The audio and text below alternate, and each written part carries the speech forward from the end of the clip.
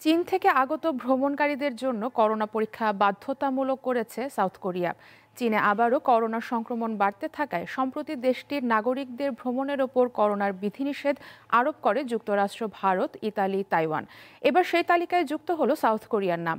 শুক্রবার এক ঘোষণায় দেশটির প্রধানমন্ত্রী হান ডাক সু জানান, চীন থেকে প্রস্থানের আটচল্লিশ ঘণ্টার মধ্যে ভ্রমণকারীদের একটি পিসিআর পরীক্ষা বা চব্বিশ ঘণ্টার মধ্যে একটি দ্রুত অ্যান্টিজেন পরীক্ষা করাতে হবে এবং সাউথ কোরিয়ায় পৌঁছানোর পরে তাদের আরেকটি পিসিআর পরীক্ষা করা হবে। এছাড়া চীনা নাগরিকদের জন্য স্বল্পমেয়াদী ভিসাও সীমিত করেছে দেশটি। চীন থেকে আগত ভ্রমণকারীদের জন্য করোনা পরীক্ষা বাধ্যতামূলক করেছে সাউথ কোরিয়া। চীনে আবারও করোনা সংক্রমণ বাড়তে থাকায় সম্প্রতি দেশটির নাগরিকদের ভ্রমণের ওপর করোনার বিধিনিষেধ আরোপ করে যুক্তরাষ্ট্র, ভারত, ইতালি, তাইওয়ান।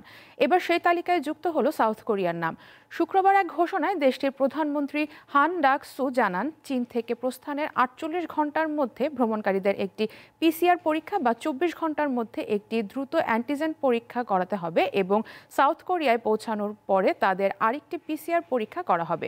এছাড়া চীনা নাগরিকদের জন্য স্বল্পমেয়াদী ভিসাও সীমিত করেছে দেশটি। চীন থেকে আগত ভ্রমণকারীদের জন্য করোনা পরীক্ষা বাধ্যতামূলক করেছে সাউথ কোরিয়া। চীনে আবারও করোনা সংক্রমণ বাড়তে থাকায় সম্প্রতি দেশটির নাগরিকদের ভ্রমণের ওপর করোনার বিধিনিষেধ আরোপ করে যুক্তরাষ্ট্র, ভারত, ইতালি, তাইওয়ান। এবার সেই তালিকায় যুক্ত হলো সাউথ কোরিয়ার নাম।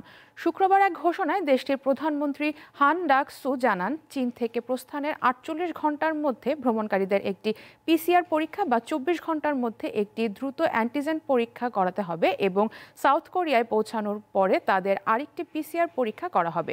এছাড়া চীনা নাগরিকদের জন্য স্বল্পমেয়াদী ভিসাও সীমিত করেছে দেশটি। চীন থেকে আগত ভ্রমণকারীদের জন্য করোনা পরীক্ষা বাধ্যতামূলক করেছে সাউথ কোরিয়া। চীনে আবারও করোনা সংক্রমণ বাড়তে থাকায় সম্প্রতি দেশটির নাগরিকদের ভ্রমণের ওপর করোনার বিধিনিষেধ আরোপ করে যুক্তরাষ্ট্র, ভারত, ইতালি, তাইওয়ান। এবার সেই তালিকায় যুক্ত হলো সাউথ কোরিয়ার নাম। শুক্রবার এক ঘোষণায় দেশটির প্রধানমন্ত্রী হান ডাক সু জানান, চীন থেকে প্রস্থানের আটচল্লিশ ঘণ্টার মধ্যে ভ্রমণকারীদের একটি পিসিআর পরীক্ষা বা চব্বিশ ঘণ্টার মধ্যে একটি দ্রুত অ্যান্টিজেন পরীক্ষা করাতে হবে এবং সাউথ কোরিয়ায় পৌঁছানোর পরে তাদের আরেকটি পিসিআর পরীক্ষা করা হবে। এছাড়া চীনা নাগরিকদের জন্য স্বল্পমেয়াদী ভিসাও সীমিত করেছে দেশটি।